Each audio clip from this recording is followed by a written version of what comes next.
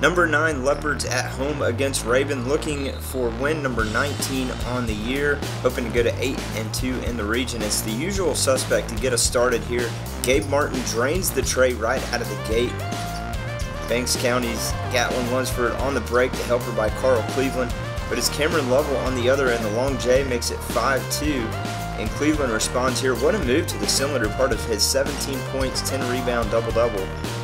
Braxton Hicks then drops one in over Dylan Orr, but Orr responds with his own driving lay-in. And Lovell again on the other end pulls within three on another jumper. And check this play out right here. Darius Bonds pass picked off by Chase Buchanan.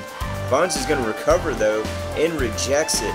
However, this one still leads on the other end to a triple by Hicks, which ties the game. But late in the first, it's Bonds to Orr on the alley oop followed by a loose ball and Wes Ledford put back with the deuce just before the buzzer 14-11 Banks.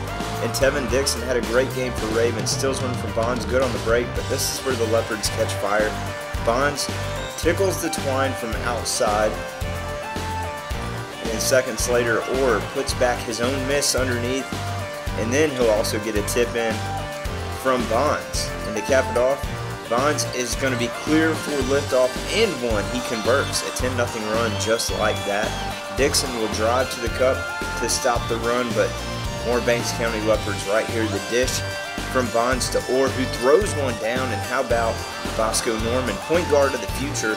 Smooth move to the rim. Bonds trifecta then stretches the lead to 32 18 at this point. Call it deja vu. It's now a 15 point lead. He is on fire. And then Orr punishes the rim on the break before halftime. 37 20 Leopards into the locker room. Dixon opens the second half with a three of his own. But then Carl Cleveland back in the mix with the easy bucket.